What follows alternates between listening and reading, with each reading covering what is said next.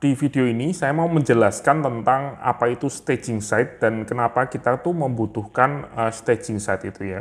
Uh, jadi staging site itu adalah clone dari website kita. Jadi untuk kita punya uh, sebuah website itu yang di live, misalnya saya punya website uh, shellcreeper.com itu adalah production site, itu environment production, production environment dari website kita. Uh, selain punya uh, production environment itu yang live yang dilihat oleh pengunjung, kita biasanya juga harus membuat sesuatu seperti yang dinamakan staging site.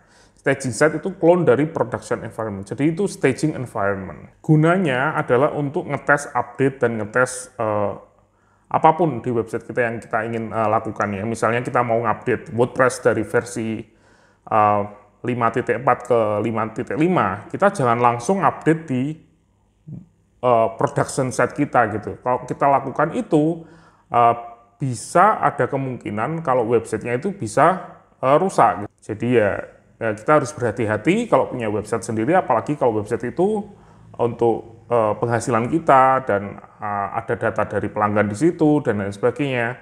Jadi kita harus punya uh, test site ya, staging site yang saya sebutkan tadi.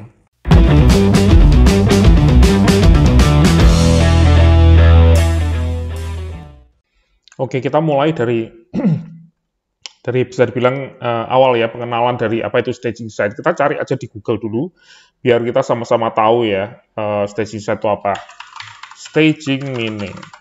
Nah ini dia, ini yang pas ya. Uh, what is staging and coding gitu ya. Jadi untuk coding itu staging environment atau stage uh, adalah a nearly exact replika dari production environment uh, untuk testing kita gitu. Jadi misalnya ini kita kasih contoh aja di website saya sendiri, saya tuh punya namanya sharecreeper.com ya. Uh, sharecreeper.com ini adalah production site saya. Jadi ini adalah blog saya di mana saya uh, nulis blog ya, tutorial dan lain sebagainya. Tapi saya juga punya website uh, staging yang saya gunakan untuk testing gitu ya. Nah, ini kayak gini. Ya, ini adalah uh, bisa dibilang clone dari website yang ini ya. Jadi semuanya ada di sini. Jadi kalau misalnya saya mau uh, butuh suatu plugin, misalnya saya mau pakai plugin contact form yang baru dan lain sebagainya, saya nggak langsung install di website saya yang ini gitu ya, yang live yang ada. Nanti jangan-jangan nggak kompatibel dan lain sebagainya. Jadi kita tes dulu di staging environment seperti ini. Dan yang perlu diingat di staging environment, saya login dulu deh.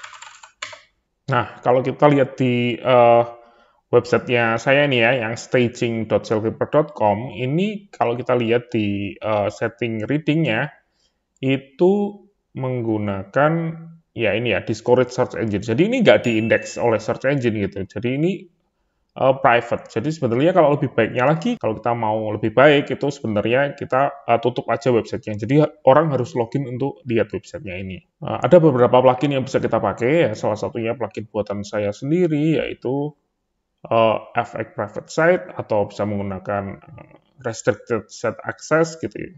Ada banyak banyak plugin yang bisa kita gunakan uh, untuk merestriksi ini ya pengunjung website yang ada di sini.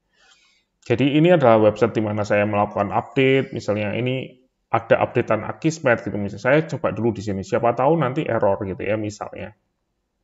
Seperti itu. Selain uh, staging environment, kita juga uh, membutuhkan yang disebut uh, local environment. Uh, nah, di sini juga saya punya yang disebut dengan uh, local host ya, local environment. Uh, ini ada di sini ya, shellreport.com.test. Jadi ini bukan domain yang beneran, karena ekstensinya .test dan ini uh, yang saya pakai untuk kalau saya mau menambahkan fitur baru di website saya.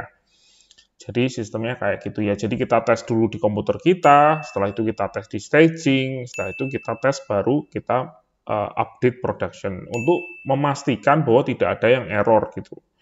Dan ini saya bilang wajib ya, sudah saya lakukan sejak uh, dulu sekali, bahkan sebelum saya uh, sebelum saya jadi WordPress uh, developer gitu, uh, saya selalu punya test site di mana saya ngetes ngetes fitur baru atau konfigurasi baru. Mungkin ada setting-setting di blog kita yang mau kita ganti, misalnya thumbnailnya kita ganti ukuran, mungkin di Teams ada opsi untuk mengganti ukuran, kita coba dulu di uh, test set kita. Setelah yakin semuanya oke, okay, baru kita update website kita gitu. Jadi ya seperti itu. Dan uh, di, di video ini saya juga ingin jelasin tentang cara untuk bikin staging set. Kalau kita pakai WordPress uh, hosting, itu banyak sekali yang sudah menawarkan fitur untuk uh, staging set, untuk bikin staging set dengan cepat. Jadi misalnya kita cek ya WP Engine misalnya. Kita lihat di sini ada WP Engine, Size dan Environment. Jadi uh, ya di WP Engine itu dia support untuk membuat clone dari website itu menjadi uh, sesuatu yang bisa kita untuk testing gitu ya. Uh, banyak sekali kok uh, di website-website lain ada. Bahkan di cPanel pun kalau ada Softaculous itu bisa kita menggunakan uh, fitur di situ. Jika tinggal klik aja, nanti websitenya itu akan diklon ke website baru gitu, di mana kita bisa melakukan testing terlebih dahulu. Oke, sekian uh, video singkat dari saya. Kalau memang ada yang membutuhkan untuk tutorial cara untuk bikin staging site secara manual ya, atau cara untuk memindahkan sebuah website dari domain A ke domain B, gampangnya kan sama seperti itu, uh, bisa tulis di komentar. Terima kasih.